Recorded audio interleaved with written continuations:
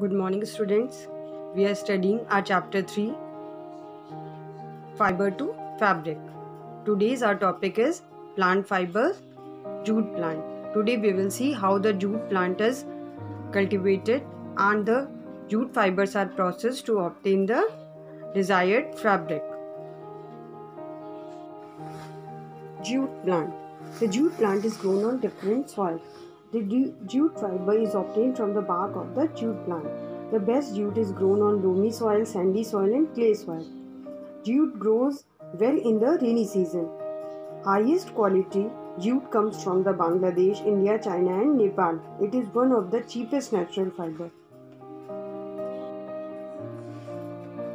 In India, jute is grown in the region of West Bengal, Assam, and Bihar. Retting is the process in which jute is picked from a stem root. A jute plant is immersed in water for a few days before picking.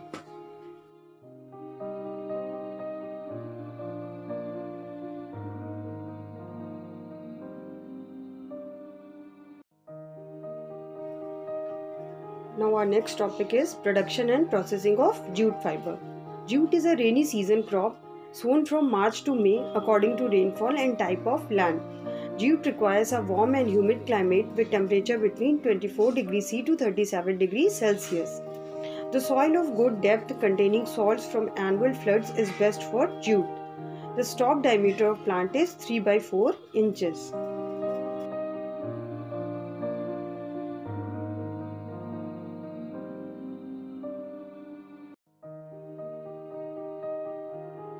Various stages of production and processing include Number 1 is cultivation, second harvesting, third is retting, fourth stripping, 5 washing, sixth drying, seventh baling and packing, and eighth one and the last is storage. The first step in the production and processing of jute fibers is cultivation. Sowing of jute starts with the showers in March or April and continues till early June. Phosphorus, potash, and nitrogen fertilizers are used for this crop. Step is harvesting process. Jute is harvested anytime between 120 days to 150 days when the flowers have been shed. Early harvesting gives good healthy fibers. The harvested plants are left in the field for 3 days for the leaves to shed means leaves got dried up. Next is the retting process. Retting is a process in which fibers get loosened due to decomposition of hard cell walls by the action of bacteria. The bundles are steeped out in water at least 60 cm to 90 cm depth.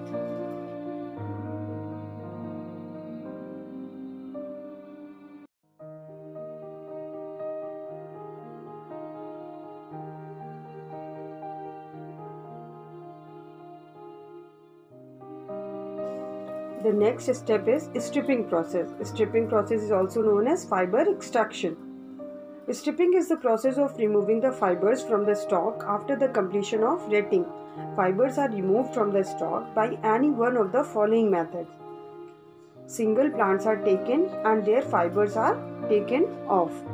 Taking off a handful of stalks, breaking it into a and throw motion in water.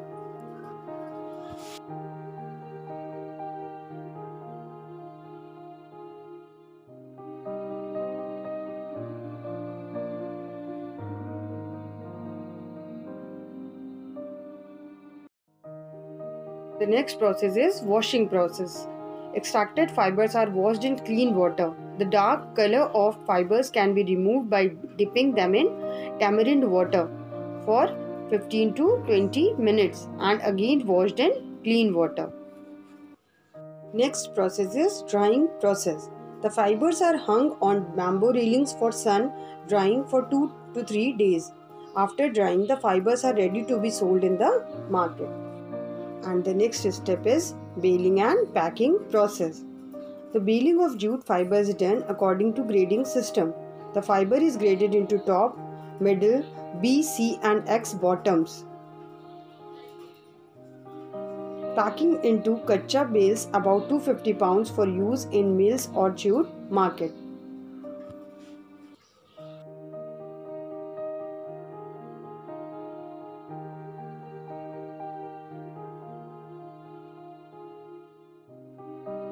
Uses of jute Jute is the second most important vegetable fiber next to cotton.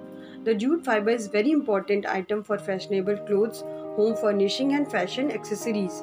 The most important use of the jute fiber is in the manufacturing of carpets, cordage and twines.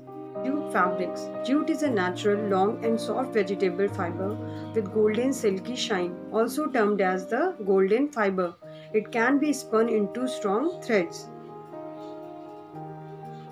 Furniture Besides piece of furniture made from other popular wood types, jute furniture is also favored by consumers all around the world. The furniture made from jute doesn't only look good but can also enhance the area of your living room or drawing room. Jute cloth Jute cloth made by 100% jute fiber, laminated jute cloth, jute, Hessian fabric, rough jute products, Hessian cloth, sackcloth, etc.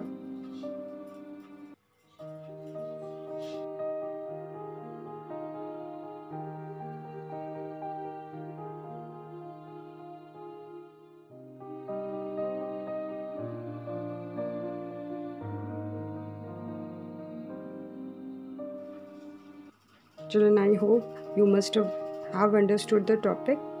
Thank you, children.